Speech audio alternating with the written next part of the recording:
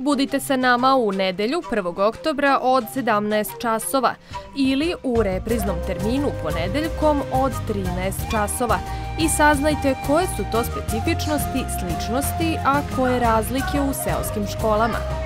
Učiteljica Edita Vuković radi u isturenom odeljenju osnovne škole Dositej Obradović u Mečkovcu i kao neko ko je radio i u gradskim školama kaže da ima razlike u ponašanju dece. Deca su ovde, ja ne znam kako mišljenje vlada među ljudima, ali veliki akcent se postavlja na poštovanje učitelja. I onda su deca poslušnija, deci treba jednom da se kaže da bi poslušala, brzo se nauči taj sistem rada i nema toliko problema kao u gradskim školama.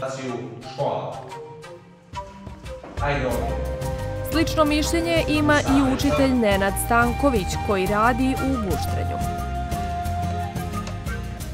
Deca ovde sa sela su prilično vredna Oni obavljaju kući svoje poslove i pomažu roditeljima, tako da disciplina je odlična, mirna deca.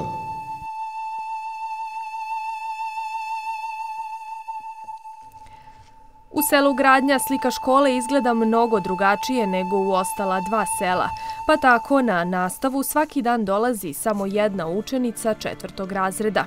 Ova škola nekada je brojala i po sto đaka prema rečima meštana i jedna je od najstarijih škola u Vranjskom kraju.